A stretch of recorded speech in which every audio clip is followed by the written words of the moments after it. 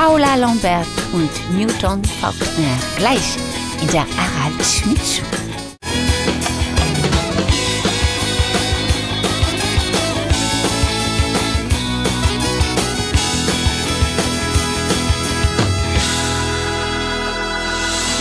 Helmut Zerlett und die Skyburm. Die Skyburm. Auch nicht schlimm. Zwei der zahlreichen Bestseller meines nächsten Gastes, meine Damen und Herren, eine junge Erfolgsautorin, die sich auch künstlerisch mit dem Thema Sexualität, das für viele von uns die Hauptbeschäftigung ist, auseinandersetzt. Herzlich willkommen, Paula Lambert!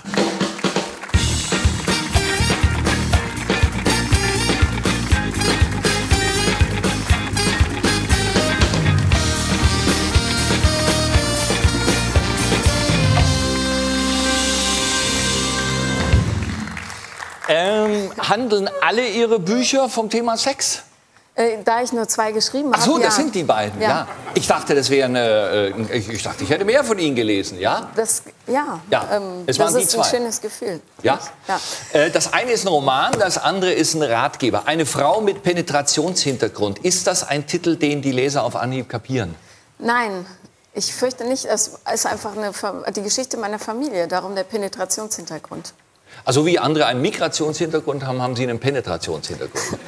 Kann man das sagen? Äh, ja, es, ähm, ich beziehe mich da hauptsächlich auf meine Großmutter, die ihre Sexualität nach zahlreichen Geburten erst im, mit Ende 60 ähm, mit Hilfe eines jugendlichen Busfahrers für Seniorenreisen kennengelernt hat. Ich habe mich äh, gefragt, warum bin ich geworden, wie ich bin, und Ja. jetzt weiß ich's. Aber das, das ist doch nichts Ungewöhnliches, dass ein junger Mann sich in eine wesentlich ältere Frau verliebt. Oder? Also.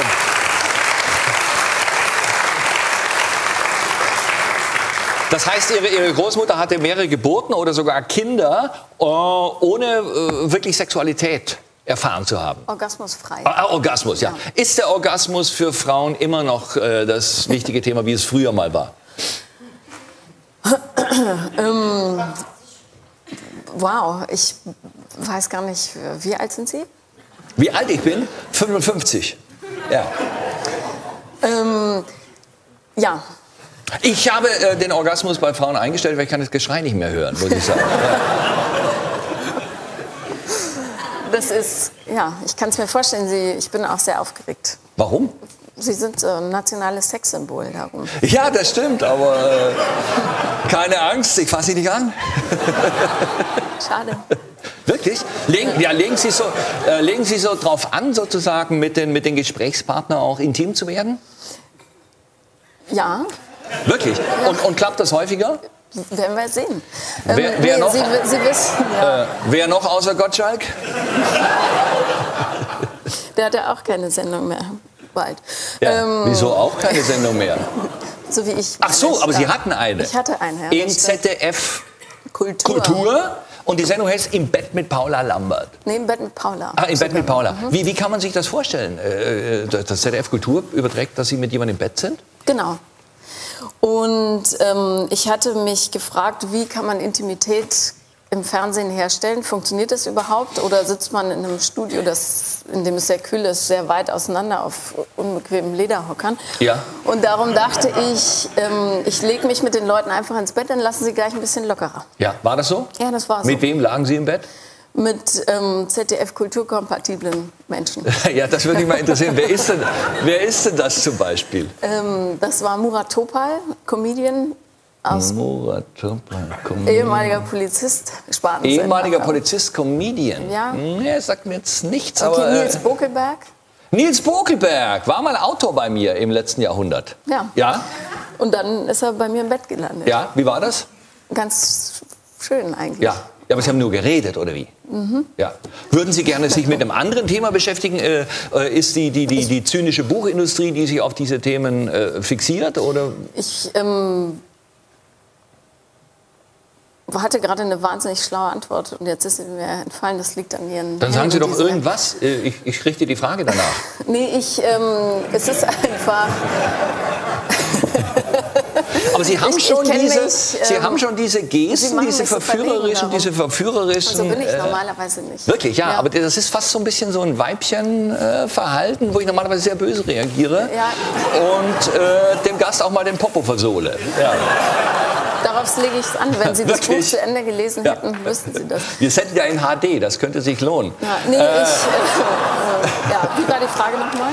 Die Frage war, ob Sie vielleicht eher, sagen wir so. mal, ja, Ja, nee, äh, im zweiten Buch geht es ja relativ wenig um Sex. Nur am Anfang und am Ende. das stimmt. Und zwischendrin. Ja. Ja. Also ich ähm, orientiere mich da an den Bedürfnissen des Marktes und das nächste Buch wird darum, weil ich in einem sehr unglücklichen Stadtteil von Berlin wohne, sich um das Thema Beziehungen drehen. Welches ist dieser unglückliche Stadtteil? Prenzlauer Berg. Weil es nicht klappt mit diesen neuen Beziehungen, oder? Die Männer sind zu, zu waschlappig, ist mein Eindruck, oder? Genau. Ja? Und die Frauen sind so unglücklich, dass sie die Männer dahin erzogen haben. Ja. Und ich komme, um alle zu retten. Ja. Ja. Und warum haben sich die Männer dahin erziehen lassen? Das ist natürlich die jüngere Generation der Männer, Anfang 30, ja. Oder? Ähm, ich weiß es nicht, keine Ahnung. Es, weil ihre Generation keine anständige Männerbewegung hingekriegt hat. Und was heißt Männerbewegung? Naja, ähm, Männer zu lehren, Männer zu sein. Das wäre die Aufgabe meiner Generation gewesen. Ich glaube schon, aber Sie haben sich hingesetzt, Tee serviert und dicke Wollsocken getragen. Und das haben wir davon. Meine Generation hat Wollsocken getragen und Tee serviert. Äh, nein, das, das stimmt nicht. Nein, das stimmt nicht. Ich habe es mit eigenen nicht. Augen gesehen. Mein Vater ist nämlich ungefähr so alt wie Sie. Ja, und der hat das gemacht. Ja. Aber deswegen arbeiten wir jetzt an Ihren Problemen. Aber, aber, aber ich habe das, äh, nein, in meiner Generation war man irgendwie noch westernmäßig drauf. Also man war noch, man trug noch sozusagen zu enge Jeans und äh, war noch äh, ja, geprägt durch äh, Jack Nicholson, ja, im, im Rollenvorbild. Der ja in Beziehungen auch nicht so erfolgreich war. Äh, ich glaube, dass alle 600 relativ glücklich waren in, in, äh, bei ihm in der Zeit, in der sie funktioniert haben. Ich habe gelesen, er, er soll einen äh, Berg mit Kokain in der Nachttischschublade gehabt haben, wo er mit der Hand reingegriffen hat äh, und gesagt hat, nimm mal, Schatz. Haben Sie das äh, auch erlebt? Mit Jack Nicholson? Nein. Haben Sie überhaupt äh, aufregende Sachen im Sex erlebt oder ist es das Nein, schreibende das Buch Kompensation ist wahnsinnig darüber? langweilig und handelt nur davon, wie ich mit Leuten im Bett liege und nichts passiert. Haben Sie das Buch gelesen, Herr Schmidt? Ich habe es gelesen und, und äh, habe vieles vergessen.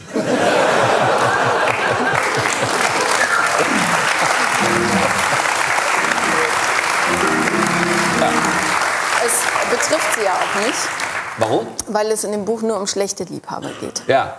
Sie glauben, ich bin ein guter Liebhaber? Ich, das, was ich gehört habe, Im Renaissance Hotel in Köln?